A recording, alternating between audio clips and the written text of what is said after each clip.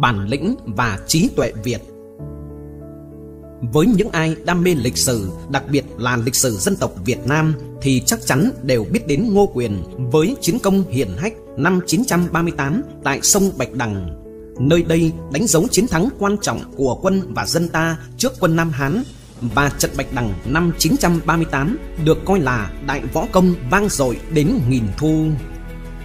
Tuy nhiên, người lãnh nhiệm vụ đặc biệt dẫn dụ quân Nam Hán lọt vào trận địa cọc này lại ít được người đương thời cũng như hậu thế nhắc đến. Sau khi bố trí xong trận địa cọc ngầm, điều quan trọng là phải toán tính làm sao dụ thuyền giặc đi vào đó khi nước chiều đang lên, rồi ghim chân chúng đến khi nước rút để lộ ra những cọc nhọn thì kế sách diệt giặc mới thành công. Đây chính là điều kiện có tính chất cực kỳ quan trọng quyết định sự thắng thua với quân xâm lược và đảm trách nhiệm vụ đặc biệt này là những anh hùng xuất thân từ chốn thôn quê.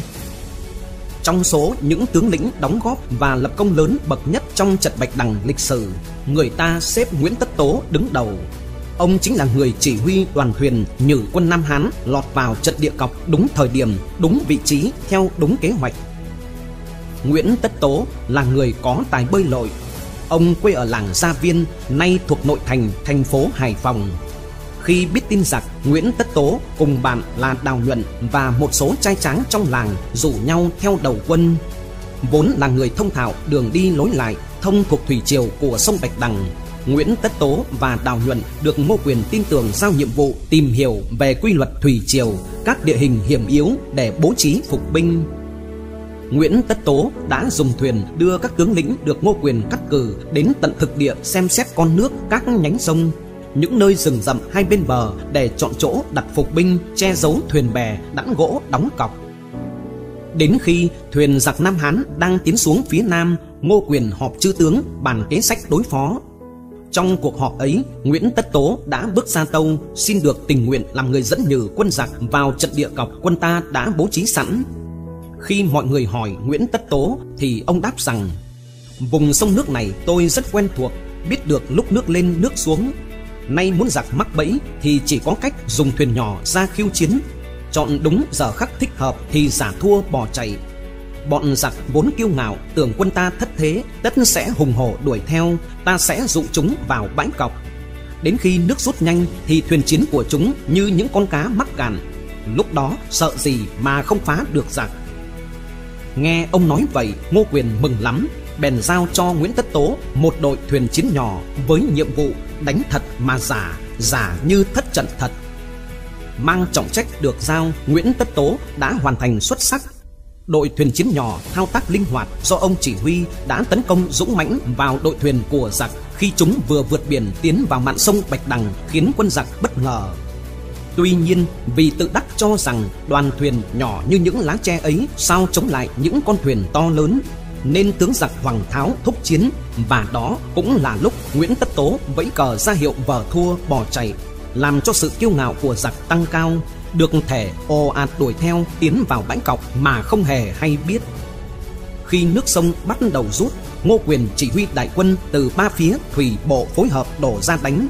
Quân Nam Hán bị rối loạn phải tháo chạy ra biển, thuyền chiến của chúng va vào cọc nhọn bị chìm đắm, rồi bị những bè lửa ngùn ngụt cháy lao đến thiêu đốt. Nguyễn Tất Tố cũng chỉ huy các thuyền nhỏ đánh quật lại.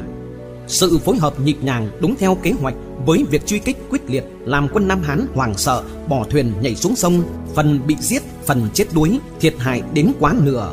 Chủ tướng giặc là Lưu Hoàng Tháo cũng bỏ mạng tại trận. Lời bàn Chiến thắng vang dội trên sông Bạch Đằng năm 938 là kết quả từ sự chỉ huy tài giỏi của Ngô Quyền cùng các tướng lĩnh trong việc phát huy sức mạnh của dân tộc. Biết sử dụng và phát huy các yếu tố thiên thời địa lợi nhân hòa, biết phát huy sở trường thủy chiến của dân tộc ta để giành thắng lợi. Và chiến thắng Bạch Đằng được coi là trận chung kết toàn thắng của dân tộc Việt trên con đường đấu tranh chống Bắc thuộc, chống đồng hóa, đấu tranh giành lại độc lập dân tộc sau chiến thắng Bạch Đằng, Việt Nam bước vào thời kỳ xây dựng đất nước trên quy mô lớn. Đó là kỷ nguyên của văn minh Đại Việt, của văn hóa Thăng Long, kỷ nguyên phá tống Bình Nguyên đuổi Minh, một kỷ nguyên rực rỡ của các nhà Lý Trần Lê. Nhà sử học Ngô Thị Sĩ đánh giá trận thắng trên sông Bạch Đằng là cơ sở cho việc khôi phục quốc thống. Những chiến công đời Đinh, Lê, Lý, Trần sau này còn nhờ vào uy danh lẫm liệt ấy để lại. Trận Bạch Đằng vũ công cao cả, vang dội đến ngàn thu, há phải chỉ lấy lừng ở một thời bấy giờ mà thôi đâu. Đây là chiến thắng của bản lĩnh và trí tuệ Việt Nam Chính chiến thắng Bạch Đằng đã để lại bài học vô cùng quý giá cho Trần Hưng Đạo đại phá quân Nguyên Mông cũng trên sông Bạch Đằng năm 1288. Vua Quang Trung phá tan năm vạn quân Xiêm trên sông Rạch Gầm năm 1785 và những con tàu không số của Hải quân Nhân dân Việt Nam trong cuộc kháng chiến chống Mỹ cứu nước ở thế kỷ 20. Theo website Bình Phước Online, Video được thực hiện bởi kênh Bí ẩn Sử Việt qua giọng đọc Trọng Tuân. Mời quý vị và các bạn đăng ký kênh, nhấn chuông nhận thông báo để đón xem những câu chuyện tiếp theo.